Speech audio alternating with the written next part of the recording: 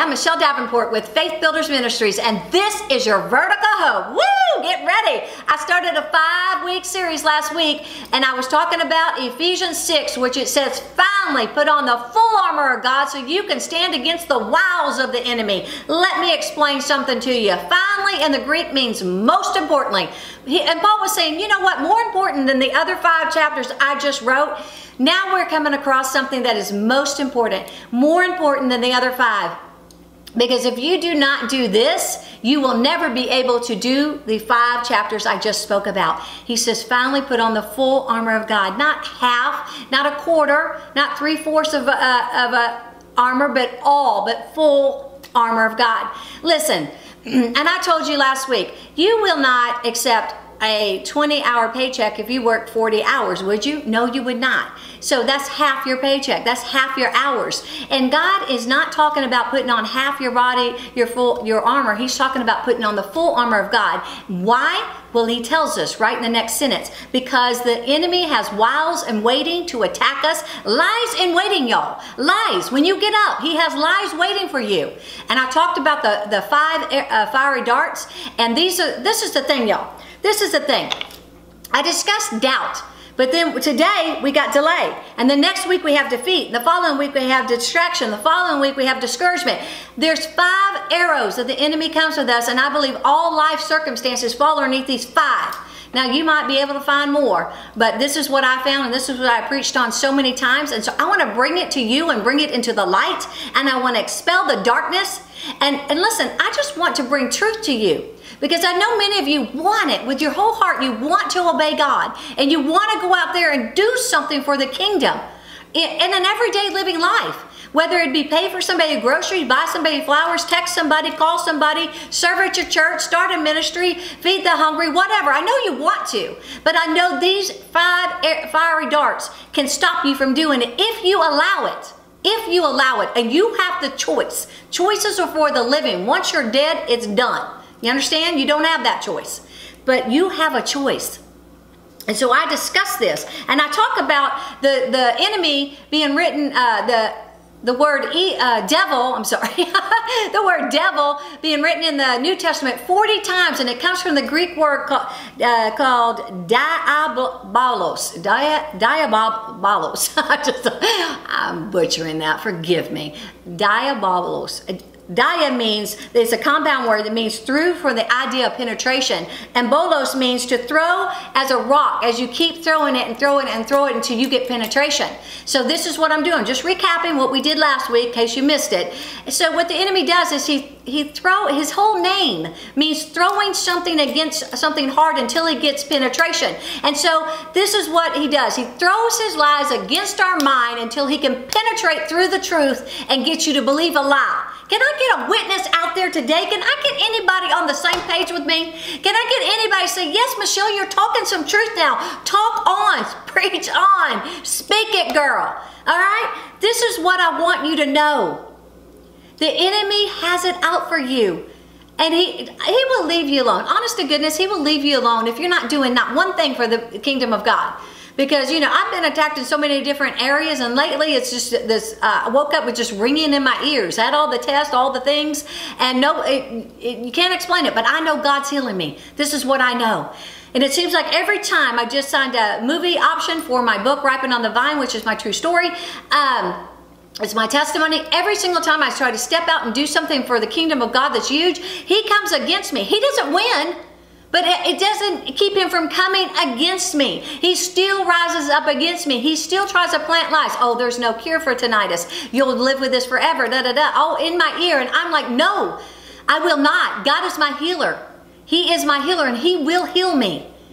I, I tell you, but if you're you're not doing and people will say well you know i don't get attacked like that well maybe maybe you're not doing anything for the kingdom of god i don't know maybe you are maybe it's a season I don't know that answer, but I do know this. I know that the enemy has lies in waiting. Every single day that we get up in the morning, he is willing and waiting to plant another seed of lies in us, and I don't want it anymore. I'm here to tell you I want it to stop. I want you to get victory over this. And so I talked about doubt last week. I talked about, you know, praying for a man that was on his front lawn um, having a heart attack.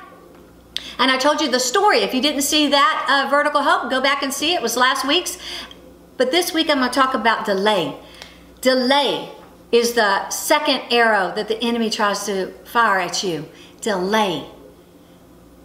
And uh, this is this is the God honest truth. I don't care if you believe me or not. God speaks to me. I know I hear him. I hear him in here. And he has proven himself too many times for me not to know that that is him. I know. And the word of God says, My sheep know my voice and they follow. And so, I, this is going to just sound outrageous, I know, but I, this is the story and this is true. One morning I woke up, and this has been years ago. My, my girls are still living at home. And we've always been a one income military family. We chose to have children, me stay home and take a traditional role and raise our children, homeschool, and do all the things. And I loved it, okay? So the, I love to be a home, uh, you know, homestay mom. I love, but I also got a couple degrees while I was staying at home. I went to night school and did this and did that. And so I got my associate's biblical degree and I got a designing degree. So I also loved, you know, learning myself. So God was just orchestrated it all where I could do it do it all. so uh, with his strength, not mine. Amen. Okay. But we've like I said, we've always been a one income family, and sometimes I would take a, a part time job. Like when we first got married, uh, many people do not know I cleaned houses, and that was our date night money. So I cleaned houses. And me and my friend switched, and I watched her kids, she watched mine, and that's it. You know, that's who we allowed to watch our kids. And we would go clean houses, and we'd make date night money. And then when we moved to California, I worked at REI. I worked there two nights a week to have Christmas money. Uh, but we were at a point where we, I could work or not work or, you know, it, we were at a point where I didn't need to work, but if I did have a little bit of extra money, we could do a little extra things. How many's been there if you're not there right now? okay, so one morning I woke up and, and the Lord spoke in my spirit, Michele, I want you to go online. I, listen, I can't make this stuff up. I want you to go online. I want you to uh, print out a Kohl's application. I want you to fill it out, and I want you to take it and apply for a job at Kohl's. It was so specific, y'all, that I could not deny that that was the Lord. So I did exactly what he said. I got dressed. I did it all that morning, got dressed, and that day, now listen, we're talking about delay right now, right? The arrow of delay. I did what he said. I didn't wait for a week or two, and I did it that day. And so I did not delay. I went up to Kohl's and walked, back to customer service, and I said, Can I speak to your manager? Well, the lady said, I'm sorry, uh, she's on vacation. And I said, okay. I said, well, I wanted to give her this application. I put a big old smiley face on it. And I said, uh, that way she'll, you'll remember who I am. I said, give it to her and you'll know who I am who I am. And, and she said, okay. And so I left and I thought, you know what? I did what God told me to do. I applied. I brought it in the same day. I filled out the application. I took it in and I gave it. I even put a big old smiley face on my paper and said, "Hey," so you don't forget who, who, uh, who this is. And I started to walk down. And anybody's been in Kohl's, they've got a long aisle till you get to the door from customer service. And I got about halfway down that aisle and I heard, "Hey, hey, Mrs. Davenport, Mrs. Davenport," and it was another manager, and his name was Adam.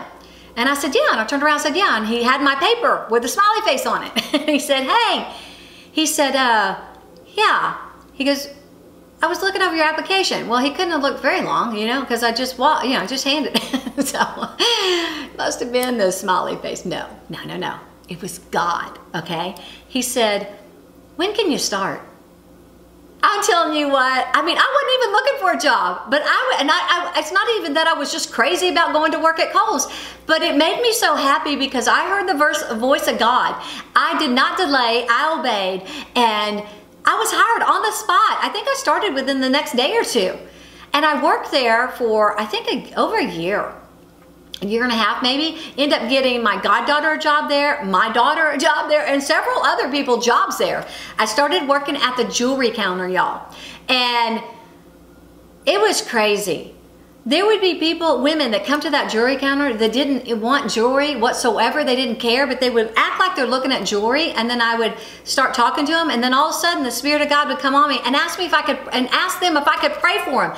I cannot tell you how many women I prayed for at that jewelry counter. Never bought jewelry, but I prayed for them. Amen. Amen. And listen, at Kohl's, you had to get, I don't know, so many credit card invites or something like that. And I never met my quota ever. And my the main boss then was Sheila.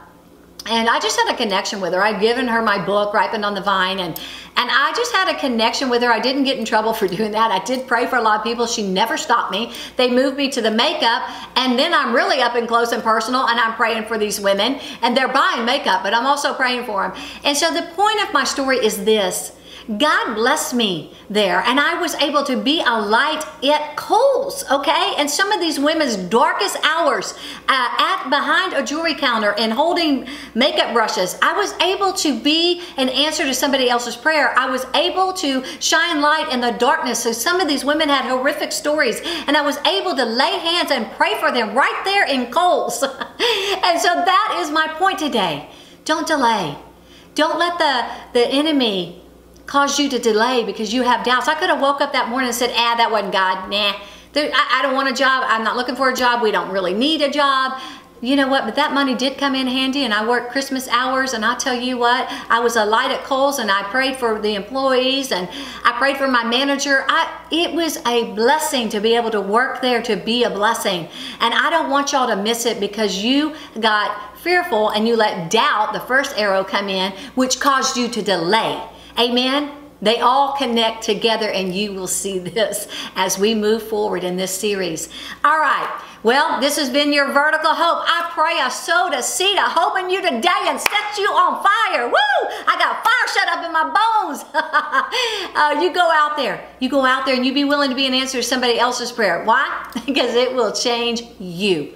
It will change you, all right? And in the process, it will change them. All right, until we talk again, I bless you. Bye bye.